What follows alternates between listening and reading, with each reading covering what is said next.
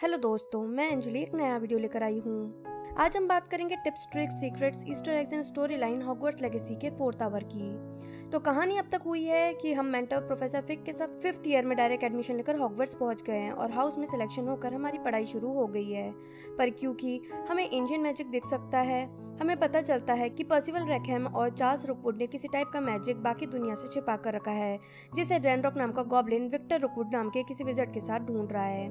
और इसी कारण हम पर हॉग्समेट में हमला हो जाता है। पर इससे हमारा एंशियंट मैजिक इन्वोक हो जाता है। यानी अब हम एंशियंट मैजिक यूज़ कर सकते हैं। तो हॉग्समेट में हुई घटना के बाद हम वापस अपने डोमेट्री में आ जाते हैं और नेक्स्ट मॉर्निंग उठते हैं। फिर हम फिग से मिलते हैं, क्योंकि उस लॉकेट में उन्हें एक मैप मिलता है, जो दरअसल हॉगवर्ट्स का मैप था। और क्योंकि हमें एंशियंट मैजिक दिख सकता है, हमें लाइब्रेरी के रिस्ट्रिक्टेड सेक्शन में लाइट दिखती है, पर अभी लाइब्रेरी में जाने का फिग मना कर देते हैं, जब तक श्योर न हो जाए कि कोई खतरा नहीं है आगे। और अब फ़र्स्ट पॉइंट है सबसे बड़ा ईस्टर एग जो प्रोफेसर फिक के रूम के बाहर लड़कियों के बाथरूम में मिलता है। आपको याद होगा कि हैरी पॉटर सीरीज़ में सेकेंड ईयर में हरमाइनी ने पॉलीजूस पोशन कहाँ बनाया था? क्योंकि वो बनाना अलाउड नहीं था। उसने इसे लड़कियों के बाथरूम में बनाया था। पर वो पहली ऐसी इंसान नहीं थी जिसने ऐसा किया। इलीगल पोशंस बनाना बाथरूम में शायद बहुत पुरानी रीत चली आ रही है, क्योंकि यहाँ भी हमें किसी का इलीगल पोशन बनता हुआ दिखता है, और कलर से तो ये पॉलीजूस पोशन ही लगता है। उसके बाद हम प्रोफेसर हैकेट से मिलते हैं, जो हमें क्रॉस वॉन्ड यानी सीक्रेट ड्यूलिंग क्लब का राउंड कंप्लीट करके आने को कहती है, जिस कारण हमें पता चलता है कि ये उतना भी सीक्रेट नहीं है। हम ल्यूकन से मिलते हैं और वो ड्यूलिंग के लिए हमें सेट करता है और हम एक प्रैक्टिस सेशन भी करते हैं। नेक्स्ट पॉइंट एक टिप है, किसी भी ड्यूलिंग या फाइट के पहले अपने गियर्स ज़रूर चेक करें। और जिसमें भी ऑफेंस डिफेंस बढ़ता हो, उसे सिलेक्ट कर लें। इससे आप ऐसे क्वेस्ट आसानी से जीत जाएँगे। दो क्रॉस वन ड्यूलिंग के बाद आप फिर से प्रोफेसर हैकेट से मिलते हो, जो इंसेंडियो यानी आग लगाने वाला स्पेल सिखाती है, और फिर आप फिग से मिलते हैं। और दोनों लाइब्रेरी जाने ही वाले होते हैं कि फीनियस नाइजिलस ब्लैक आ जाते हैं और फिक को अपने साथ ले जाते हैं। इसलिए आप सेबेस्टियन की हेल्प लेते हैं और डिसल्यूजनमेंट चान यानी विभ्रम समूहन स्पेल से छिपकर लाइब्रेरी के रिस्ट्रिक्टेड सेक्शन में जाते हैं। लाइब्रेरी की डेस्क से की चुराते हैं। रस्ते में सेबेस्टियन बताता है कि उसकी बहन बीमार है और वो उसकी बीमारी का क्योर ढूंढ रहा है रिस्ट्रिक्टेड सेक्शन में, जो कि किसी और के पास नहीं है, पर रस्ते में पीव्स उनको देख लेता है। और जाकर चुगली करने की बात करता है। पर सेबेस्टियन आपको आगे जाने का कहकर खुद पीस के पीछे उसे रोकने चला जाता है। आगे बढ़ने पर हमें फिर से एंशियन मैजिक के ट्रेसेस दिखते हैं और उसके बाद फिर से तोरण द्वार आ जाता है, जिससे हम एथेनियम पहुँच जाते हैं और सूट ऑफ़ आर्म गार्ड से फिर से हमारी फाइट होती है। थर्ड पॉइंट एक टिप है कि फाइट करते टाइम जब भी आपको ऐसे ब्लू लाइट दिखे, ज़्यादा से ज़्यादा उसे लेने की कोशिश करें, क्योंकि इससे आपका एंशियन मैजिक का स्लैब फिल हो जाता है। हर बार एंशियंट मैजिक यूज़ करने के बाद आपका स्लैब खाली हो जाता है और इन ब्लू लाइट्स को लेने से वो फिर से रिफिल हो जाएगा। फाइनली आप बुक तक पहुँचते हो, जिसमें से मेमोरी पेंसिव में जाती है और आप देखते हो कि एक छोटा सा गाँव में सूखा पड़ा हुआ है, जहाँ दो बच्चे अपने पिता के साथ हैं। वहाँ पानी का नामो निशान नहीं था। तभी आप वहाँ देखते हो कि पर्सिवल और रुकवुड एक और जादूगर और जादूगरनी के साथ वहाँ आता है और अपना मैजिक यूज़ करके बारिश करा देते हैं। गाँव लहरा उठता है। बच्ची उन्हें जादू करता देख लेती है। उसका भाई बीमार था। कुछ साल बाद वही बच्ची हॉगवर्ड्स आती है। उसका नाम इसी डोरा मॉर्गना था। उसका भी फिफ्थ ईयर में एडमिशन होता है। उस टाइम वहाँ पे हेडमिस्ट्रेस प्रोफेसर फिस थी और वहाँ पे प्रोफेसर बकार भी था और ये दोनों ही उस दिन पॉसिबल और रुकवुड के साथ बारिश कराने के टाइम शामिल थे। और तब हमें पता चलता है कि पॉसिबल रेखम का भी डायरेक्ट फिफ्थ ईयर में ही एडमिशन हुआ था, जैसा कि हमारा और इसीडोरा का और तीनों ही लोग एंशियन मैजिक के ट्रेसेस देख सकते थे।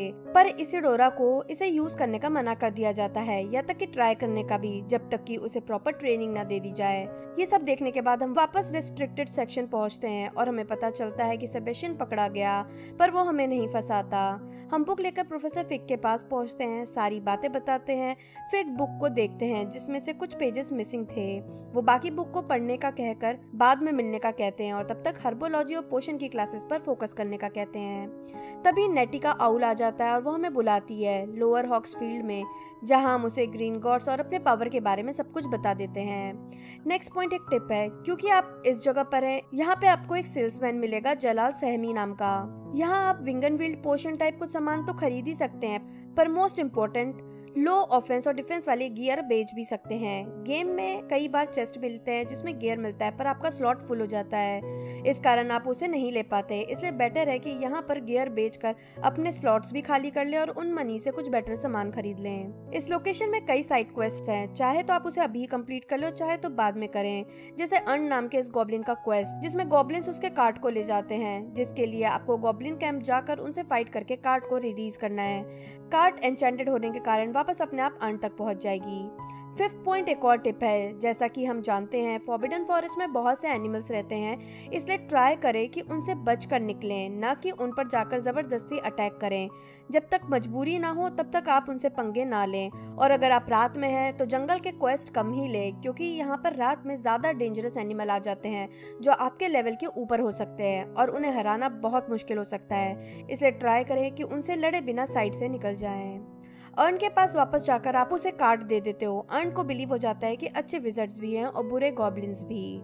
इसी लोकेशन पर एक और साइड क्वेस्ट है, जिसके लिए बस पानी में जाना है और चीज़ें कलेक्ट करनी है। बाय द वे इस लड़की का नाम काफ़ी कुछ जस्टिन फिंच फ्लैचली से मिलता है। नेक्स्ट पॉइंट क्वेस्ट से रिलेटेड है, और वो है मर्लिन ट्रायल का, जो काफ़ी इम्पोर्टेंट है। तो उसे आप जल्दी ही कर लें। साइट पर आपको नोरा ट्रेडवेल मिलेगी। जो एशविंडर नाम के लोगों से घिरी है। हैरी पॉटर वर्ल्ड में एशविंडर व्हाइट स्नेक होते हैं। यहाँ एशविंडर विक्टर रुकूट के साथी हैं आप उससे फाइट करते हो और नोरा जो कि रिसर्चर थी, आपको बताती है कि कई साल पहले मर्लिन हॉगवर्ट्स में ही पढ़ता था। और यहाँ उसने बहुत से जादू को छिपा कर रखा था, जो कि वाइन्स कवर्ड पिलर्स हैं। जिसे ट्रायल्स ऑफ़ मर्लिन का नाम दिया गया है। मर्लिन की हर बुक में स्वेल्ड में सेंटर में एक सिंबल होता है, जहाँ मेलो स्वीट नाम के हर्ब को डालना है। सिंबल पर मेलो स्वीट डालते ही वाइन्स गायब हो जाती हैं और तीन पिलर चमकने लगते हैं। तीनों पर इंसेंडियो करने से सेंटर में ऐसा एक गजीबो बन जाएगा। बस इतना ही करना है जहाँ कहीं भी स्वेल्ड दिखे। वहाँ से हम वापस हॉगवर्ट्स लौटते हैं और फिग ने, जैसा कहा, हर्बोलॉजी की क्लास अटेंड करते हैं। नेक्स्ट पॉइंट एक सीक्रेट ट्रस्ट और चेस्ट है। आप क्लास के पहले अगर इस वे जाएँगे तो साइड से आपको यहाँ पर नीचे जाने का रास्ता मिलेगा। इन सीढ़ियों से आप नीचे जाएँगे तो इसके एंड में एक चेस्ट है। एट्थ पॉइंट एक ट्रिक है। ऐसे आए वाले चेस्ट आपको हॉगवर्स और हॉगजमेट में कई जगह देखने को मिलेंगे, पर ये खुलते नहीं है। इन्हें खोलने का एक ट्रिक है। इस चेस्ट की आँखों से दूर जाओ और डिस इल्यूजनमेंट चाम कर लो, यानी इनविजिबल हो जाओ, और फिर आकर चेस्ट खोलो तो ये खुल जाएगा, और हमेशा इसमें आपको 500 कॉइन्स मिलेंगे। नेक्स्ट पॉइंट एक अमेजिंग कनेक्शन है हैरी पॉटर टाइमलाइन और इस टाइमलाइन में। हैरी पॉटर टाइमलाइन में हर्बोलॉजी के प्रोफेसर का नाम प्रोफेसर स्प्राउट था, जो कि बेसिकली बॉटनी से रिलेटेड नाम है। और इस टाइमलाइन में भी हर्बोलॉजी के प्रोफेसर का नाम प्रोफेसर गार्लिक है, जो अगेन काफ़ी हद तक बॉटनी से रिलेटेड नाम है। और फाइनली टेंथ पॉइंट एक ईस्टर एग है। हर्बोलॉजी के क्लास में आपको पूरी तरह से नॉस्टैल्जिया फील होगा। जब फ़र्स्ट टाइम हमने ग्रीन हाउस देखा और हर्बोलॉजी की क्लास देखी थी तो मैंड्रेक रीप्लांट किया था। यहाँ भी फ़र्स्ट क्लास में हमें मैंड्रेक ही रीप्लांट करना है। इसके अलावा यहाँ वेनोमस टेंटाकुला डिटेनी नॉट ग्रास ऐसी कई चीज़ें मिलेंगी। इसके बाद हम यहाँ चाइनीज़ चॉम्पिंग कैबेज कलेक्ट करते हैं, जो की फाइट्स में काम आ सकते हैं। तो दोस्तों, ये थे tips, tricks, secrets and story line fourth hour की। अगर वीडियो पसंद आया तो लाइक और शेयर ज़रूर करें। फिफ्थ आवर की वीडियो के साथ मैं जल्दी वापस आऊँगी। तब तक के लिए बाय बाय